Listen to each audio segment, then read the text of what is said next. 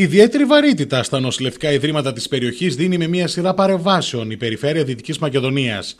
Σύμφωνα με τον Αντιπεριφερειάρχη Κοζάνης, Γιάννη Σόκου, της στόχος της Περιφερειακής Ενότητας είναι η αναβάθμιση των παρεχόμενων υπηρεσιών υγείας για τους πολίτες της περιοχής. Το επόμενο διάστημα ολοκληρώνονται οι εργασίες διαμόρφωσης του περιβάλλοντος χώρου στο Ποδοσάκιο, ενώ είναι σε διαδικασία δημοπράτησης και η επέκταση του νοσοκομείου. Όσον αφορά το μαμάτσιο νοσοκομείο, ο κ. Σόκου τη επισήμανε ότι είναι σε διαδικασία δημοπράτησης η προμήθεια του μαγνητικού τομογράφου τα δύο νοσοκομεία της Περιφερικής Ενότητας, το Ποδοσάκιο και το Μαμάτσιο και κάνει ό,τι είναι δυνατόν προκειμένου να αναβαθμίσει ε, τις παρεχόμενες υπηρεσίες ε, μέσω έργων που γίνονται στα δύο αυτά νοσοκομεία.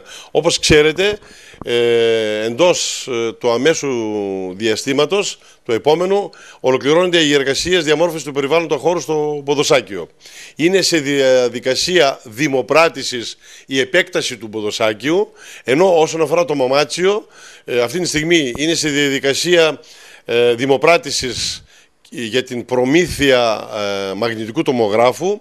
Ε, εκπονούμε τη μελέτη και θα προχωρήσουμε άμεσα στη διαδικασία δημοπράτησης για το κτίριο που θα στεγάσει το μαγνητικό τομογράφο, ενώ έχουμε ολοκληρώσει και την ε, επέμβαση μικρή μένα αλλά πολύ σημαντική και ουσιαστική στα παλιά χειρουργία του Μαμάτσιου νοσοκομείου που μετατράπηκαν ήδη σε θαλάμους του, που νοσηλεύουν ε, ε ασθενείς.